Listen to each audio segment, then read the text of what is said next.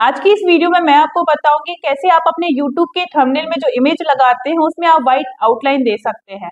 आपने बहुत सारे यूट्यूबर के थंबनेल देखे होंगे जिसमें वो अपनी इमेज लगाते हैं या कि कोई और इमेज जो उन्हें हाईलाइट करनी होती है, उसे इस तरह से व्हाइट आउटलाइन दे देते हैं। इस तरह की इमेज लगाने से जो आपका यूट्यूब का थंबनेल होता है, वो काफ़ी अट्रैक्टिव हो जाता है इंगेजिंग हो जाता है और थोड़ी सी आपकी जो इमेज है, वो भी हाईलाइट हो जाती है। तो ये कैसे करते हैं, वो आज मैं आपको इस वीडियो में बताने वाली हूँ। इस वीडियो में मैं आपको कैनवा के थ्रू बताऊँगी कि कैनवा से कैसे बहुत ही इजी मेथड से आप अपनी इमेज को ये व्हाइट आउटलाइन दे सकते हैं। ये जो इफ़ेक्ट है ना व्हाइट इसमें आप चाहें तो रेड ग्रीन येलो ब्लू किसी भी कलर का दे सकते थिक बॉर्डर रख सकते हैं ब्लर कर सकते हैं। ये सारे इफ़ेक्ट आपको कैसे देना है, इसकी बहुत ही ईजी मेथड में आज आपको इस वीडियो में बताने वाली हूँ। तो इसके लिए आपको क्या करना है, आपको कैनवा में चले जाना है। जैसे कि सबसे पहले आप देखें, मैं कैनवा में आ गई हूँ। तो जब भी आप कैनवा लॉगिन करते हैं तो आपके सामने कुछ इस तरह से डैशबोर्ड आ जाता है। अब मैं अपने थंबनेल कैसे बनाती हूँ, वो मैं आपको बताती हूँ। तो देखिए, मैं क्या करती हूँ, यहाँ जो क्रिएट डिज़ाइन दिख रहा है, यहाँ पर आती हूँ। और यहाँ पर मैं जब यूट्यूब के लिए थंबनेल बनाती हूँ तो मैं यहाँ पर लिखती हूँ यूट्यूब थंबनेल तो यहाँ पर ऑटोमेटिकली कैनवा मुझे एक साइज़ सजेस्ट कर देता है। मैं सिंपली इसी साइज़ को ले लेती हूँ। जैसे कि आप देखेंगे कि ये एक कैनवास आ गया है। ये कंप्लीट जो यूट्यूब की थंबनेल की साइज़ होती है ना, वही आ गया। हमने सिंपली यहाँ पर यूट्यूब थंबनेल सर्च किया तो 1280 सौ अस्सी इंटू सात सौ बीस। पिक्सल का ये कैनवास आ गया। अब क्या करेंगे? अब मैंने यहाँ पर अपलोड में अपनी इमेज अपलोड करके रखी हुई थी, मैं आपको बता देती हूँ। ये देखिए, ये मैंने अपनी एक इमेज अपलोड की थी। मैं यहाँ पर सेट ऐसा बैकग्राउंड कर देती हूँ इधर। फ़िलहाल के लिए आपको बता रही हूँ मैं। तो ये एक मेरी इमेज है। अब मैं क्या करूँगी कि यहाँ पर देखिए, इस इमेज पे आप क्लिक करेंगे और एडिट करेंगे। तो मैं सबसे पहले आपको एक बेस्ट ऑप्शन बताती हूँ, जो मुझे बहुत पसंद है। अब ये इमेज बीच में है। अब मुझे टेक्स्ट लिखना है, यहाँ लिखना है, यहाँ लिखना है, पर मेरे पास इनफ स्पेस नहीं है। तो यहाँ पर मैंने क्या किया? देखिए, मैं आपको बताती हूँ। ये मैंने इमेज पे क्लिक किया एडिट फ़ोटो पर क्लिक किया और ये वाला ये वाला जो ऑप्शन है ना मैजिक ग्रैप आप इस पर क्लिक करिए मैजिक ग्रैप पे। आप पहले इस वीडियो को कंप्लीट देख लीजिए, उसके बाद फिर उससे ट्राई करिएगा। अब इसको आप कहीं पे भी ले जा सकते हो। देखिए, कितना अच्छा ऑप्शन है। आपका बैकग्राउंड एज इट इज़ है। अब मैं इसको यहाँ पर भी रख सकती हूँ और यहाँ पर पूरा टेक्स्ट लिख सकती हूँ। मैं यहाँ पर रख सकती हूँ, यहाँ पर रख सकती हूँ और यहाँ पर पूरा टेक्स्ट लग सकती हूँ। अब मुझे क्या करना है कि मैं आपको बता दी, ये वाला जो बैकग्राउंड है, इसको थोड़ा सा मुझे कम कर देना है। तो ये देखिए, मैंने इसे थोड़ा सा ब्लर कर दिया, ठीक है? अब ये वाली जो इमेज है, ये हाईलाइट हो गई।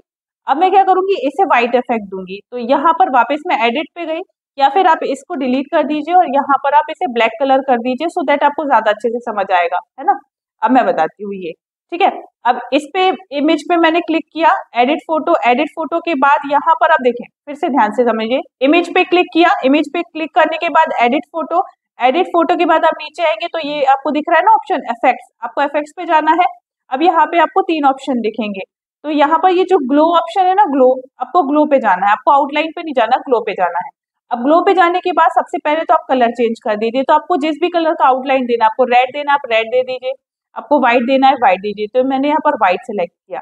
फिर इसके बाद देखिए यहाँ पर इंटेंसिटी लिखी है। इंटेंसिटी मतलब ये होता है, देखिए अभी कम व्हाइट दिख रहा है। हम नीचे पीछे जाएँगे तो और कम व्हाइट दिखेगा, लेकिन इसे फुल कर देंगे तो व्हाइट हाईलाइट हो जाएगा। अभी ये किस फॉर्म में है? ये ब्लर फॉर्म में है। तो अब हम क्या करेंगे? इसका जो ब्लर अमाउंट है, ये कम कर देंगे। तो अब देखिए ये व्हाइट हो गया, है ना? अब साइज़ आप देखो कितना लेना है। ये देखो, ये फुल साइज़ हो गया। और अब हम डाउन करेंगे इसे तो हम इसे साइज़ को कर देंगे कम। आपको जितना कम साइज़ देना है जितना आपको अच्छा लग रहा है। आप देखिए ये ये इतना भी दे सकते हैं इतना भी दे सकते हैं जितना भी हाईलाइट करना है। जैसे कि मुझे इतना हाईलाइट करना है ठीक है? कलर चेंज करना है जैसे कि मुझे रेड कलर करना है ये रेड कलर हो गया। अगर कुछ आ, ऐसी चीज़ बता रहे जिसमें आपको रेड बैकग्राउंड दिखाना है कुछ सॉल्विंग वाला दिखाना है आपको ग्रीन दिखाना है ब्लू दिखाना है आप जो भी कलर का बैकग्राउंड देना चाहे वो दे सकते हैं। ज़्यादातर व्हाइट बहुत अट्रैक्टिव होता है तो लोग व्हाइट यूज़ करते हैं येलो यूज़ करते हैं।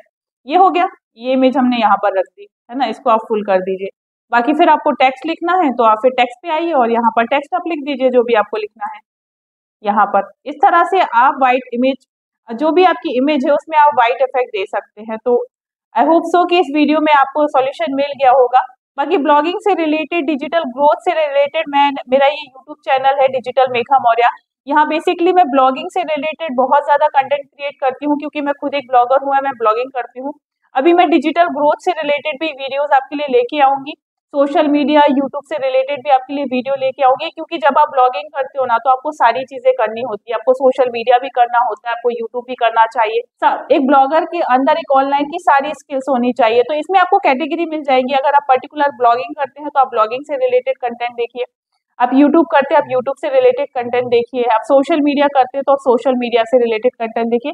लेकिन मैं चाहूँगी कि आपके अंदर सारी स्किल्स होनी चाहिए, आपको सारा सॉल्यूशन मिलना चाहिए और मैं अपने डिजिटल मेघा चैनल पे मैं आपको ब्लॉगिंग से रिलेटेड और डिजिटली ग्रोथ ग्रोथ से रिलेटेड बहुत सारा कंटेंट देने वाली हूँ। तो अगर आप न्यू हैं और आपने इस चैनल को सब्सक्राइब नहीं किया तो इस चैनल को सब्सक्राइब कर लीजिए, क्योंकि यहाँ पर आपको बहुत यूजफुल वीडियोस मिल जाएँगी। Thank you